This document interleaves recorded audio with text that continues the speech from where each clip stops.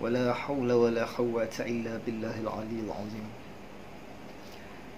Jadi kita sambung tentang ahli-ahli harap dan takut. Muka surat 136. Ha, kisah-kisah ahli harap dan takut. Jadi di sini ada beberapa kisah. Kita akan tengoklah satu persatu. Ha, sebagaimana yang dinukilkan oleh Imam Al-Ghazali dalam kitab Ihya-nya. Kisah yang pertama diriwayatkan bahawa Sayyidatina Aisyah radhiyallahu anha berkata bahawa Rasulullah sallallahu alaihi wasallam apabila berlaku perubahan udara dan berhembus angin kencang maka wajah baginda berubah baginda bangun dan berulang alik dalam kamar baginda masuk dan keluar semua itu adalah kerana takut akan Allah ha, sebagaimana uh, diringkaskan daripada riwayat Bukhari. Jadi kisah dia apabila nak berlaku lah angin ribut ni berubah wajah Rasulullah. Uh, dia ni tak senang duduk. Dia berjalan ke sana, jalan ke sini, masuk bilik, keluar bilik. Uh, mengapa? Dalam Ah, ayat yang terakhir tadi itu ada cerita semua itu adalah kerana takut akan Allah. Sebab takut akan Allah. Apabila ada takut maka adalah harap. Ah, sebagaimana yang kita sentuh dalam perkongsian sebelum ini, takut dan harap ini merupakan dua sayap. Ah, dua sayap yang kita boleh gunakan jika kena dengan caranya untuk terbang untuk naik ke langit kedekatan. Langit mukharrabin. Langit para mukharrabin. Jadi apabila ada takut maka adalah harap. Rasulullah ni takut dengan siapa? Takut dengan apa? Ha, sebenarnya baginda takut dengan Allah. Sebab semua yang berlaku itu dari segi hakikatnya adalah kerja Allah. Baik ribut ke puting beliung ke banjir ke apa pun lah. Semuanya dari segi hakikatnya adalah kerja Allah. Jadi takut itu takut akan Allah. Harap harapnya pula Rasulullah sallallahu alaihi wasallam berharap dapat lepas daripada apa yang berlaku. Jadi harap pun kepada Allah juga pada hakikatnya semua makhluk ni tak ada sebarang kuasa. Ha, tak ada sebarang daya upaya. Ha, la haula wala quwwata illa billah. Ha, Allah saja yang ada daya dan upaya pada hakikatnya. Oleh sebab itu segala angin segala ribut segala taufan semua tentera Allah yang lain pun tak ada sebarang kuasa. Ha, Allah yang buat itu semua.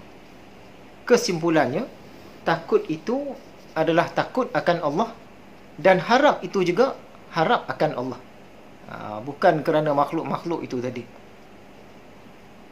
Dari sudut yang lain pula, apa yang Nabi takut? Ha, dari segi syariatnya lah. Ha, dan apa yang Nabi harap? Yang pertama, Nabi takut umat binasa. Kerana ramai lagi dalam kalangan umat ini yang belum dapat Islam. Selain itu, ramai juga yang belum dapat iman dan ramai juga yang belum dapat ihsan. Jadi Nabi berharap janganlah binasa lagi. Ha, biarlah semua ni dapatlah apa yang sepatutnya didapat. Ha, biarlah semua mendapat jalan yang lurus. Itu kisah yang pertama. Ha, ahli takut, ahli harap. Yakni Rasulullah sendiri. Dia mencontohkan sendiri.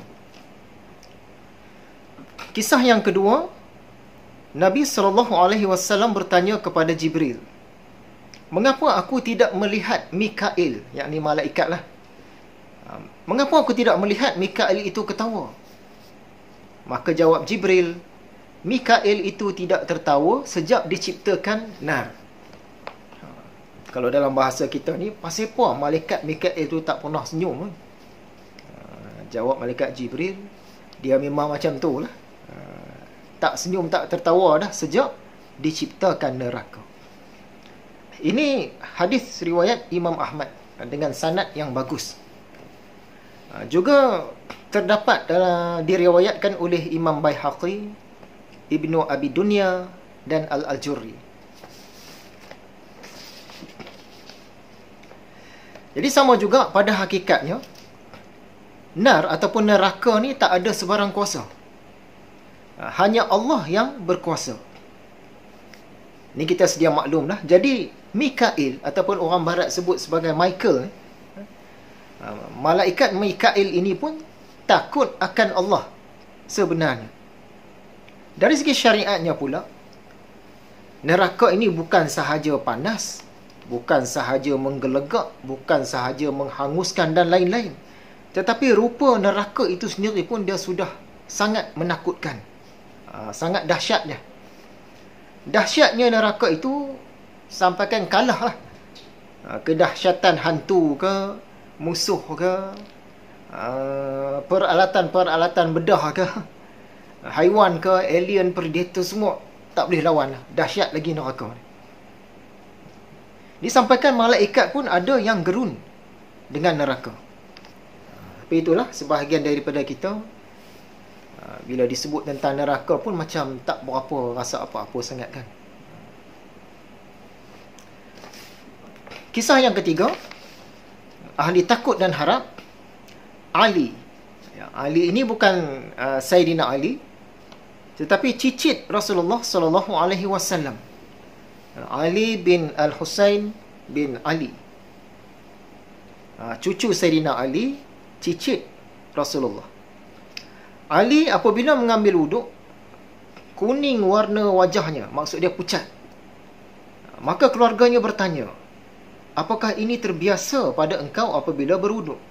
Jawabnya, apakah kamu tahu di hadapanku siapa yang aku kehendaki untuk berdiri kerananya?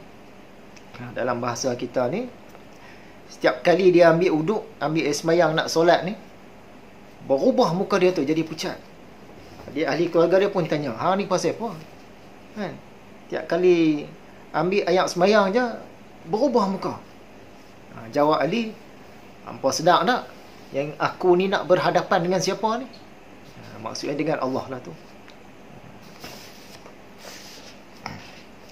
Takut akan Allah ni berbeza dengan takut akan makhluk. Kalau kita takut akan makhluk, kita lari. Tapi kalau takut akan Allah, kita menuju kepada dia. Ha, takut akan makhluk, kita lari kita menjauh kita tak mau hadapkan wajah kita kepada yang menakutkan kita itu. Baik wajah muka baik wajah zat dan juga wajah hati. Kalau boleh tak mau fikir janganlah melintas fikiran tu datang memang menakutkan. Ha, kita lari. Sebaliknya apabila kita takut akan Allah kita menuju kepada dia kita semakin mendekat kepada dia ha, dan kita kalau boleh nak selalu menghadapkan wajah kita Ha, kepada dia sama ada wajah muka atau wajah zat kita ataupun wajah hati kita. Ha, jadi berbeza. Takut akan makhluk kita menjauh. Takut akan Allah kita semakin mendekat. Daripada kisah Ali cicit Rasulullah ini mungkin ada persoalan. Eh, kata ahli-ahli sufi ni mereka mengerjakan solat kerana cinta Allah. Tapi kenapa dia ini takut? Nampak macam ada pertentangan. Jadi kita kena bezakan sebenarnya. Kita kena bezakan antara solat kerana takut dengan solat dalam keadaan takut. Ha, solat kerana takut itu satu cerita. Solat dalam keadaan takut satu cerita yang lain. Orang yang solat kerana takut dia boleh jadi dipaksa.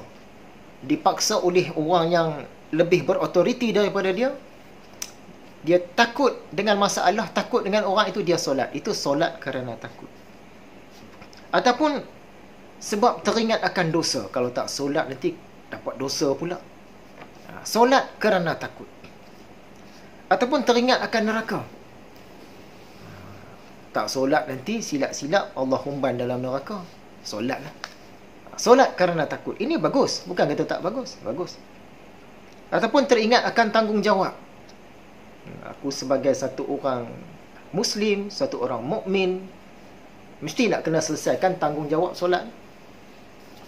Tak selesai, eh tak boleh kena selesai juga. Jadi dia takut tak selesai tanggungjawab dia. Itu solat kerana takut. Tetapi kalau solat dalam keadaan takut yang sebagaimana kisah Ali tadi. Ha, itu solat dalam keadaan takut. Ha, dia solat kerana cinta akan Allah tapi dia solat tu dalam keadaan takut. Jadi kita kena bezakan antara solat kerana takut dengan solat dalam keadaan takut.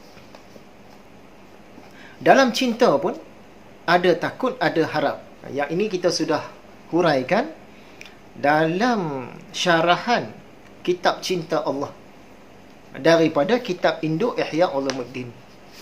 Kitab Ihya itu dia terdiri daripada 40 kitab di dalam dia. Kitab yang ke-36 itu kitab Mahabbah. Ha, kitab cinta akan Allah. Yang tu kita sudah syarahkan habis. Habis satu kitab ke-36 itu habis. Ha, ada ha, rakaman dia penuh di internet. Jadi dalam cinta ada takut dan ada harap. Ha, yang tu kita rujuk. Tonton baliklah kuliah kitab Mahabbah itu. Seterusnya yang keempat. Ahli takut dan harap.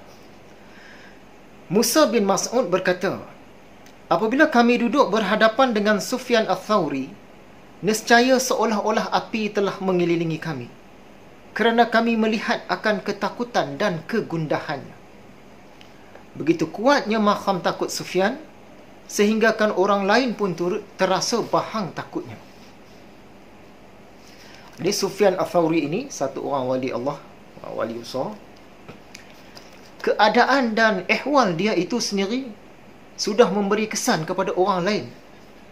Ini bukan sebarang orang lah. Orang lain terkesan dengan keadaan diri dia. Dia tu memberi bekas kepada orang di sekeliling dia. Ini orang kata aura mursyid lah ni. Aura si mursyid.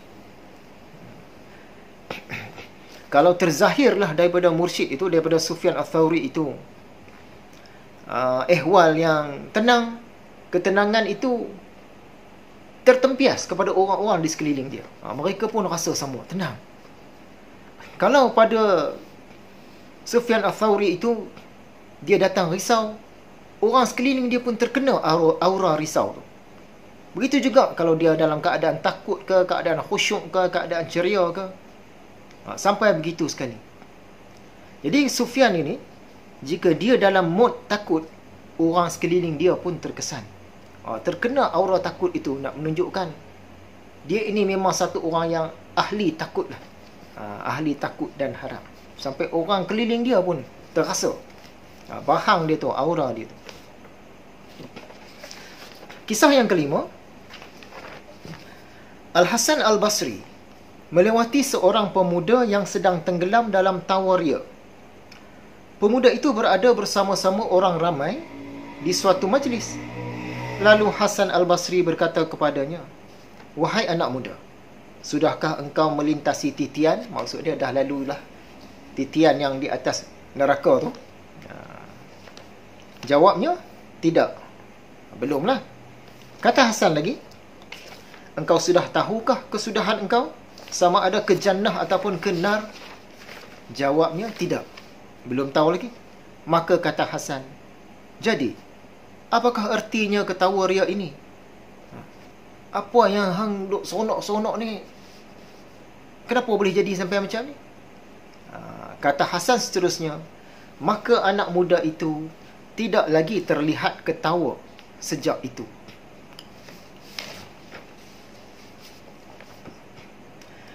Dengan kata-kata Hasan Al-Basri yang seringkas itu pun sudah cukup untuk membuatkan pemuda tadi dia ada takut.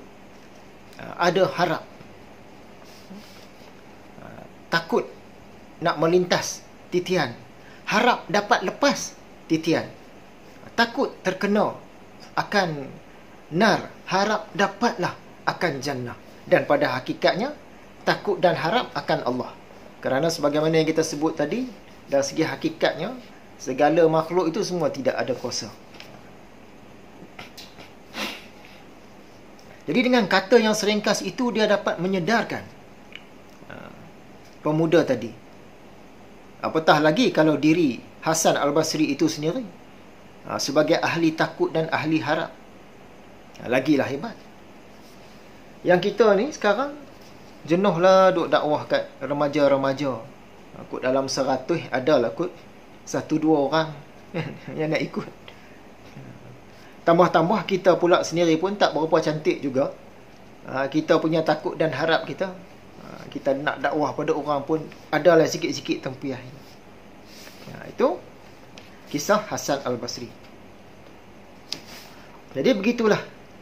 Lima kisah ahli-ahli takut dan harap yang kita sentuh daripada uh, kitab anugerah berwangian cinta untuk tetamu taman cahaya ini. Uh, tetamu taman cahaya itu uh, kita semualah uh, termasuk tuan-tuan lah. Jadi kesimpulan untuk kali ini uh, begitulah keadaan sebahagian ahli-ahli takut dan harap. Kita nak tengok mereka tak dapat sebab mereka ini zaman dulu-dulu Ha, tetapi kita saksikan hal ehwal mereka dengan mata hati. Ha, dengan berpandukan kisah-kisah yang disebutkan tadi. Kita mestilah ada ilmu sedikit sebanyak tentang takut dan harap ini sebab banyak gunanya. Ha, kebetulan dia ialah sepasang sayap untuk kita. Jadi semoga kita, keluarga kita, keturunan kita, masyarakat kita, umat kita dapatlah jadi orang-orang yang ahli dalam takut dan harap. Ya, sekian saja untuk perkongsian kali yang kedua ini. InsyaAllah kita jumpa lagi. Assalamualaikum.